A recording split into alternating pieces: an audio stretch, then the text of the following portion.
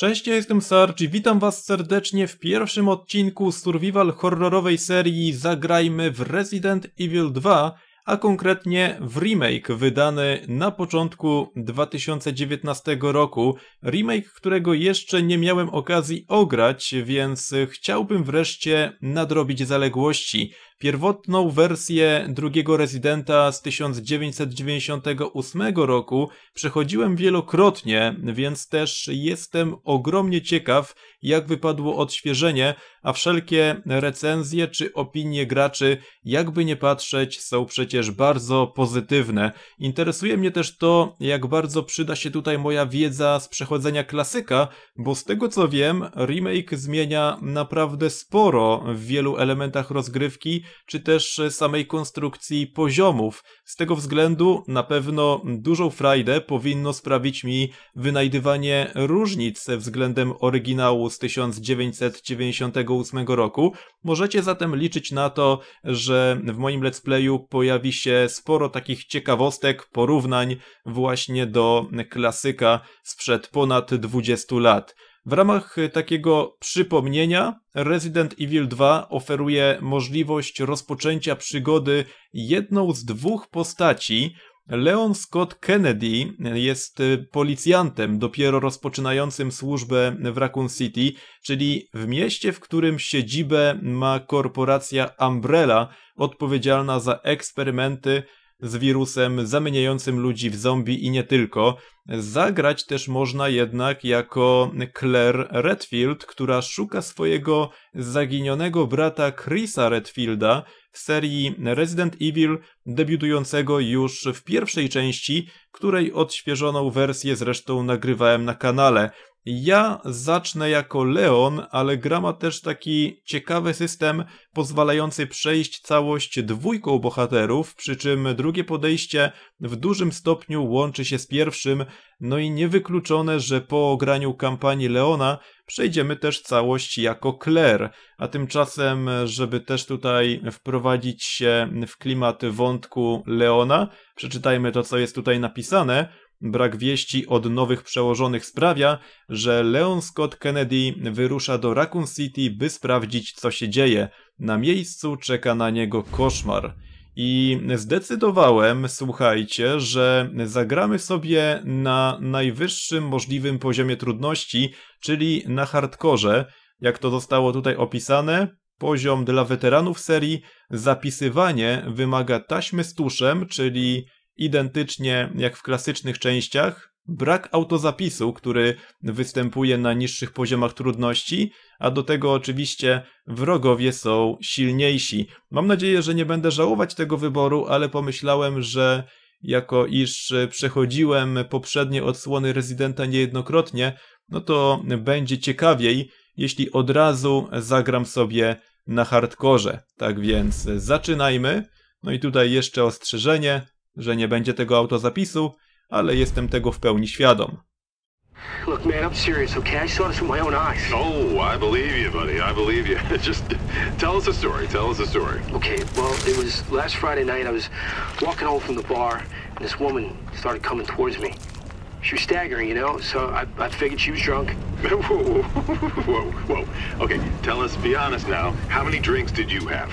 No, man, I, I barely had a buzz on. Oh, come on. Look, just listen, all right? She got closer, and I got a good look at her. You got to see her eyes, her nose, her whole face. It looked like it was rotting. Yeah. She looked like a corpse, like a walking corpse, man.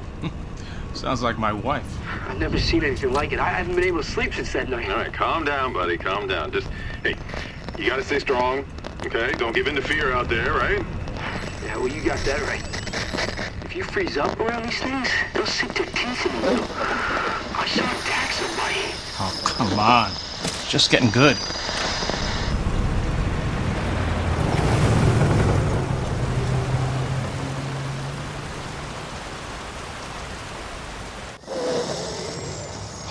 I need some sleep. Oh, shit!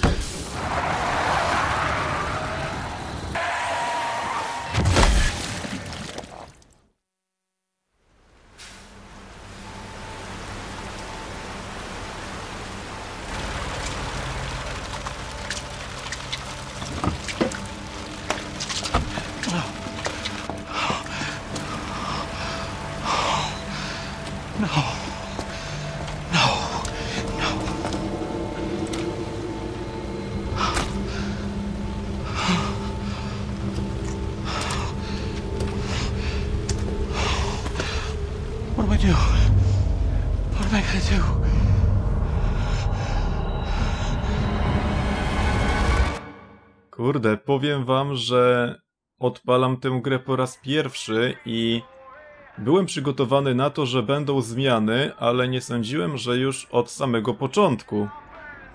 Ten kierowca ciężarówki, owszem, pojawił się w pierwowzorze z 98 roku, ale w ogóle nie było takich scen.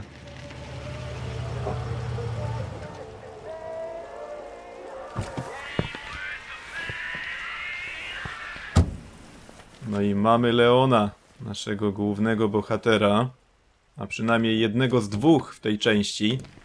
No one's around.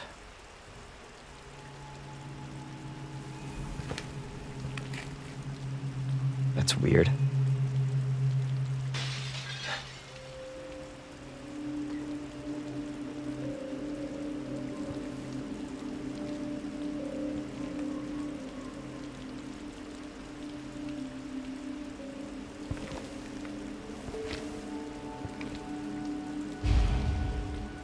Zbadaj otoczenie. O kurde.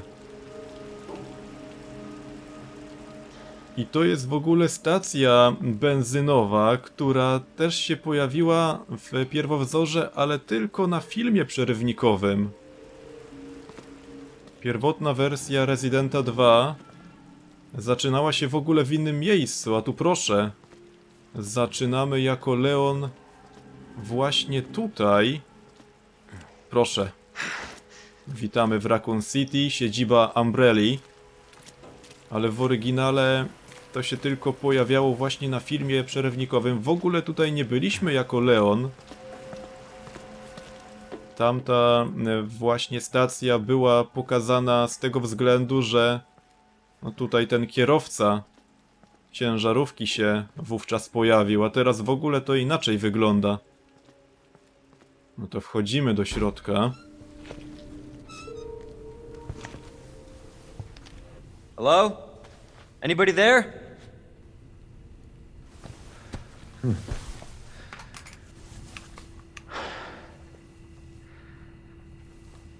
Something's not right.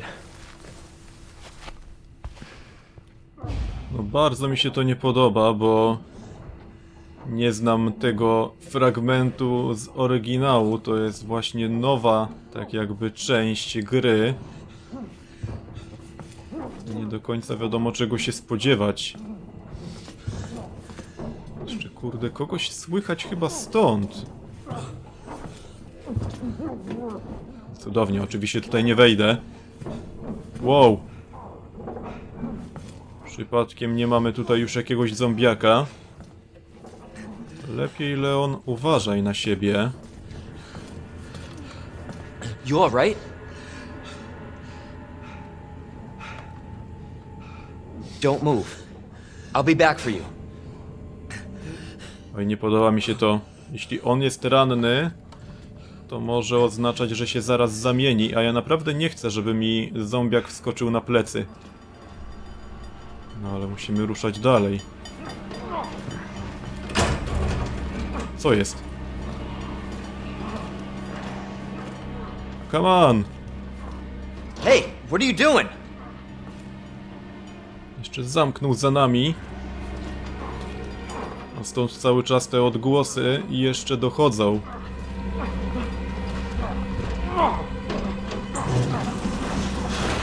Stop moving. Officer, you need help? Stay back, sir. I got this.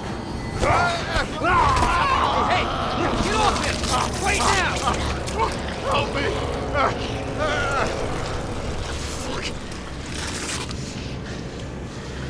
Nie mam pytań. O kurde. Freeze! I'll shoot! O w mordę.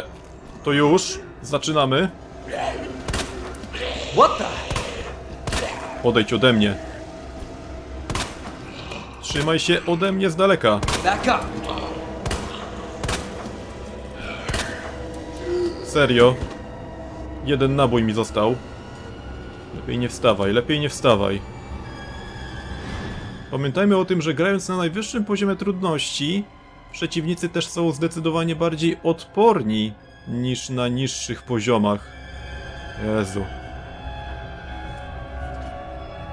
Mamy tu jeszcze jakiegoś zombiaka. Są te drzwi. O, tu też się nie da ich otworzyć od tej strony. Cudownie. Co ja tu jeszcze powinienem zrobić? Kurde, boję się, że ten policjant za chwilę też się na mnie rzuci. Ale atmosfera jest gęsta od samego początku. Mamy kluczyk, patrzcie. Ucieknij ze sklepu i otwarcie ekwipunku. No właśnie, w rezydentach istotne jest to, żeby obejrzeć sobie każdy przedmiot przynajmniej raz, dlatego że możemy dostać jakieś dodatkowe informacje, na przykład w, tutaj w przypadku klucza. O właśnie. W poprzednich częściach było identycznie, że jeśli jakiś klucz albo inny przedmiot sprawdziliśmy, to wtedy dostawaliśmy bardziej szczegółowe informacje. I tu się dowiadujemy, że to jest klucz do pomieszczenia magazynowego. No to w takim razie otworzymy teraz tamte drzwi, jak rozumiem. Spróbujemy. Jezu, ale słychać tutaj jeszcze zombiaka. Gdy musisz użyć przedmiotu, aby otworzyć drzwi lub rozwiązać zagadkę, wybierz go, a następnie polecenie użyj. Jasna sprawa. I spadamy. Jezu. Come on. What the? Jajku! Dobra, spadamy, spadamy. Boże. Come on! Uciekaj, Leon. Don't shoot! Get down!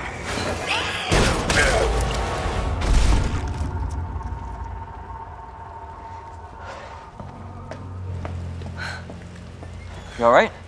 Yeah, I think so. Thanks. You can thank me later, when we're safe. Holy shit.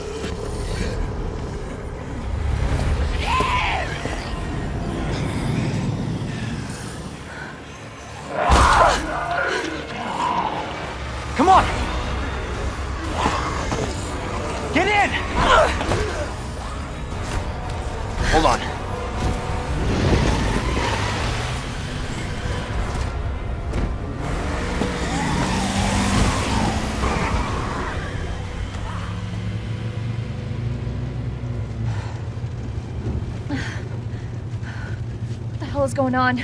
I don't know. Hopefully they'll have some answers at the police station. Wait, you're a cop? Yeah, Leon Kennedy. You are? Claire. Claire Redfield. You live around here? No. I'm looking for my brother. He's a cop too. Well, it's a good thing we found each other. I don't know what to expect anymore.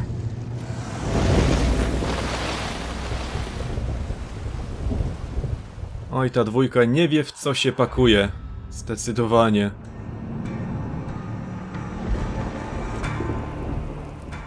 Ale nawet po tych scenach tutaj, jak kurczę spotkaliśmy Claire, już widzę, że niesamowitą frajdę będzie mi rzeczywiście sprawiać to, żeby wychwytywać jakieś nawiązania do pierwowzoru, no i oczywiście różnice, których tutaj ma być sporo. Bo sam moment, jak e, Claire i Leon się spotkali, był podobny w pierwowzorze. Też w ten sposób ona się uchyliła, kiedy Leon zastrzelił zombiaka, tylko że w pierwowzorze z 98 roku odbywało się to gdzie indziej, nie na stacji benzynowej. Później właśnie ucieczka samochodem. To wszystko mniej więcej tutaj odwzorowane, ale właśnie w innym klimacie, w nieco inny sposób. Oj, coś czuję, że się będę tutaj świetnie bawił, a przy tym jednocześnie bał tych nowych elementów rozgrywki. Attention all citizens. Due to the citywide outbreak, you are advised to take shelter at the Raccoon City Police Station. Free food and medical supplies will be provided to everyone in need. God, this is so unreal. Police station's not much farther. They'll know something. Yeah, but what if we're the only ones? What if there's no survivors? No, there's survivors. It's a big city. There has to be.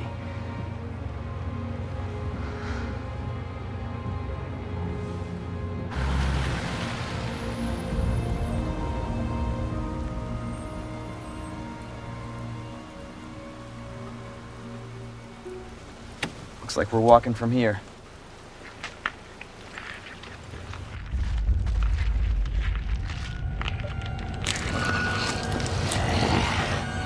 More like running. Yeah, good call. Ah! Oh, ah! Leon, we gotta back up.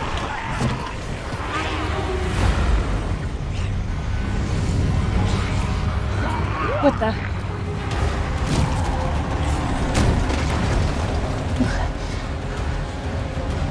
Holy shit. There, get out. Get out now! Ah.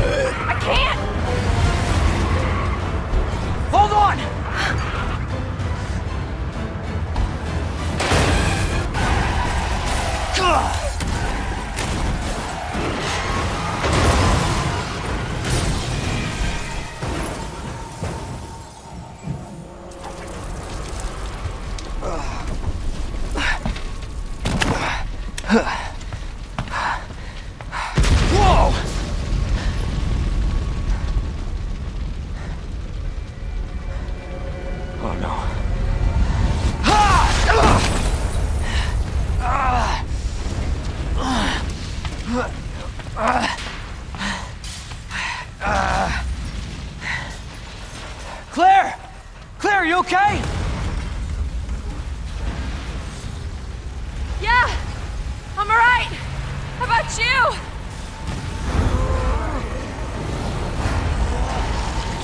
here, it's not safe. Go on ahead! I'll meet you at the station! I'll be there. O kurcze. This is out of control.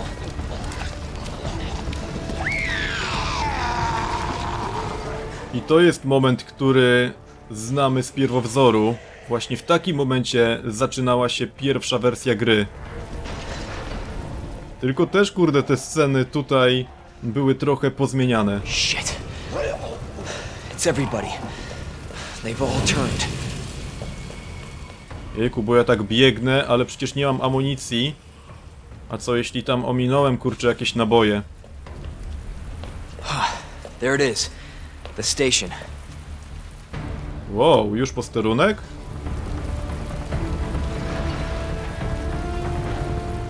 A co ze sklepem z bronią, który w oryginale występował? Nie wiem, czy tutaj się rozglądać, czy po prostu biec jak najszybciej. Jezu, są zombiaki, nie no, spadamy. Come on. Idziemy tędy, tędy. Dawaj.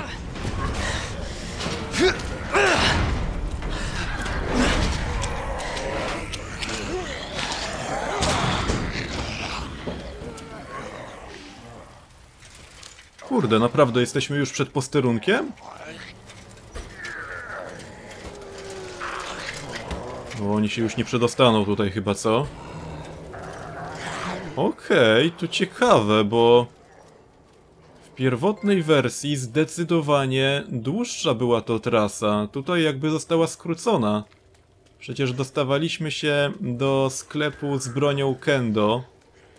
Później też były jeszcze przebieżki po zaułkach Raccoon City i dopiero dostawaliśmy się w końcu na posterunek. A tutaj?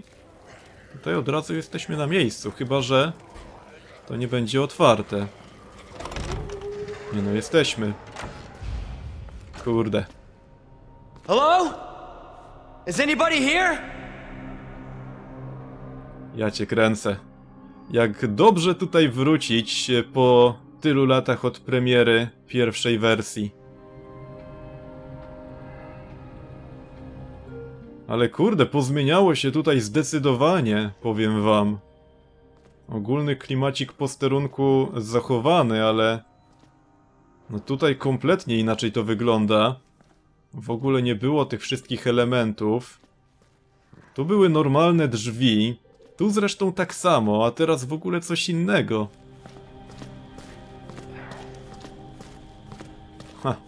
Wiele mówiący napis, żeby trzymać się z daleka.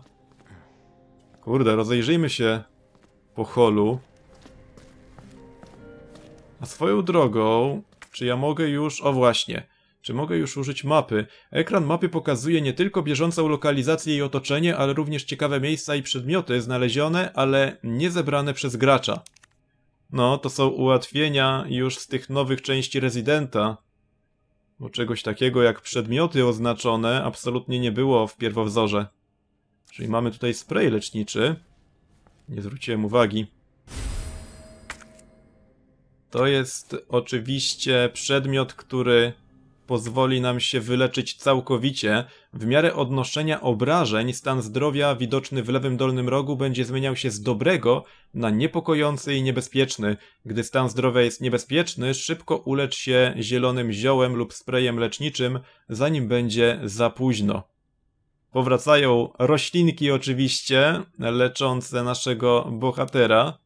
Spray leczniczy jest tutaj najbardziej skuteczny, od razu też go obejrzyjmy. Aczkolwiek tutaj dodatkowych informacji nie dostaniemy. I widzę, że tutaj się pojawia taki ptaszek. Czy to oznacza, że już nie wykorzystam po prostu? No bo w pierwotnej wersji było tak, że jak już kluczyk był niepotrzebny, to pojawiła się informacja, że możemy to wyrzucić. Kurde, no ale tutaj w ogóle jakieś kraty. Co my tu mamy? Rozumiem, że w takich momentach możemy wykorzystać jakiś przedmiot, tylko że teraz niczego nie mam. Ale jaja, no tutaj w ogóle inaczej. Jest y, biurko najpierw. Pełno, pełno zmian. Kurde, mamy pojemnik do przechowywania. W takim razie przechowajmy od razu ten kluczyk. Spray leczniczy tak samo. Jest maszyna do pisania. I na najwyższym poziomie trudności trzeba będzie odnajdywać... O właśnie, taśmę z tuszem. Mam teraz dwie sztuki i jeśli chcę zapisać grę, no to jedną sztukę muszę wykorzystać. To nam mocno sprawę utrudni, ale jednocześnie upodobni tę grę do pierwowzoru.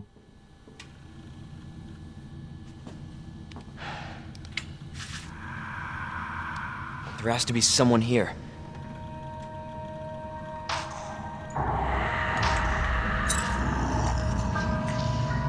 Not good. David! Marvin! You there? I found a way out! It's in here!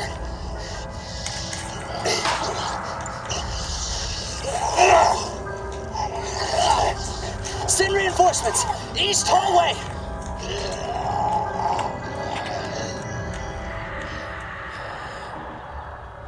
Gotta find that guy. Kurczę, to też inaczej. Wyświetlenie mapy. Sprawdź wschodni obszar. Kurde, kompletnie na odwrót. Stróżówka. W pierwszej wersji udawaliśmy się tutaj, gdzie zdobywaliśmy niebieski klucz, niebieską kartę właściwie, której musieliśmy użyć e, przy komputerze, żeby w ogóle móc z niego skorzystać. I wtedy ten komputer odblokował nam zarówno drzwi e, tutaj z tej zachodniej strony, jak i te tutaj. A zobaczmy w takim razie te drzwi. Kurde, to jest zamknięte. Jestem zaskoczony, że już od samego początku jest tyle zmian.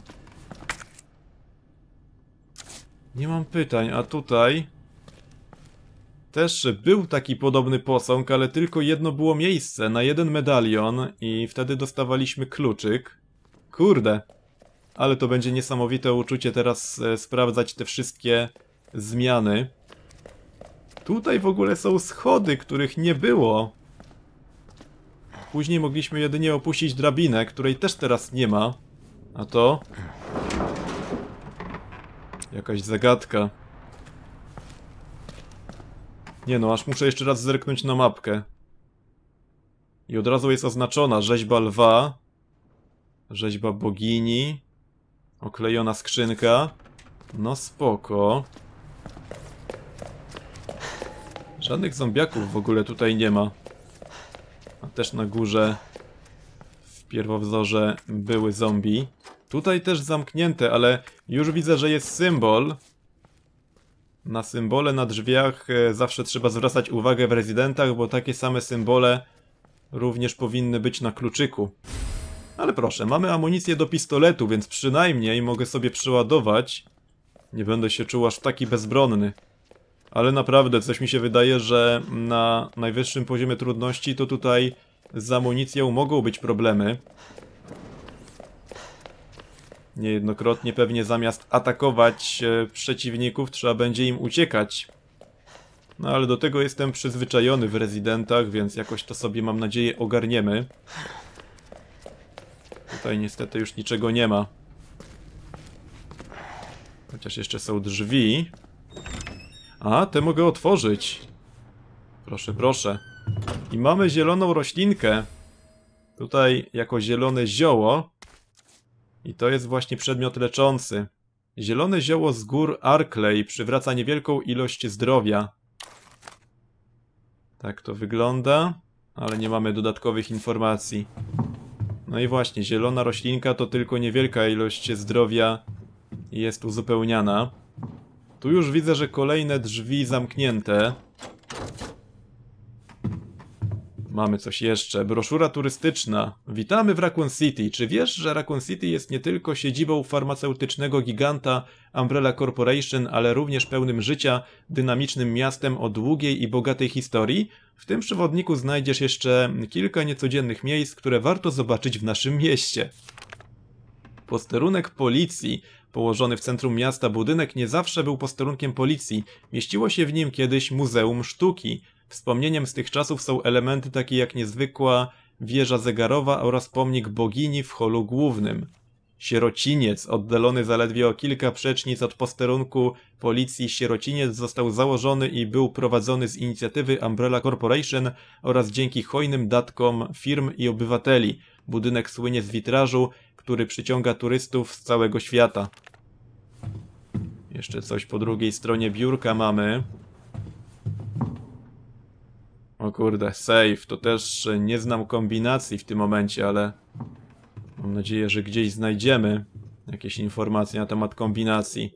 Czyli tutaj to by było wszystko. I patrzcie, od razu też są oznaczone drzwi i jest informacja, jakim symbolem takie drzwi się charakteryzują. Kurczę, no to powiem wam, że będzie frajdy z tej gry co niemiara, bo mimo faktu, że niejednokrotnie ukończyłem pierwowzór, to tak naprawdę na niewiele to się zda, wydaje mi się, bo rzeczywiście zmian od samego początku widać, że jest naprawdę dużo. No i w tym momencie, zanim się z wami pożegnam, pokażę wam jak wygląda zapisywanie. Ja sobie od razu odłożę zielone zioło, żeby mieć jak najwięcej miejsca w ekwipunku. Ekwipunku też ograniczonym, tylko 8 miejsc. No i taśma z tuszem. A właściwie to... Czekajcie, bo... Jest opcja? Tak jest. Jest opcja, żeby zabrać tylko jedno. I teraz podchodzimy do maszyny do pisania. Wybieramy użyj i zapisujemy. Więc ja już to zapisywanie będę sobie zawsze robił po nagraniu odcinka, ale ten jeden raz chciałem wam to pokazać. No i pożegnam się teraz z wami. Mam nadzieję, że ta seria na moim kanale się wam spodoba, a ja też mam takie wrażenie, że sama gra rzeczywiście będzie i mi się tutaj podobała, bo no na razie jestem zachwycony samym poziomem wykonania tej gry pod kątem graficznym, ale myślę, że twórcy też dadzą radę, jeśli chodzi o rozgrywkę. Zostawcie zatem kciuka w górę, jeśli chcecie więcej Rezydenta na kanale, podzielcie się wrażeniami w komentarzach i do usłyszenia w kolejnym materiale. Cześć!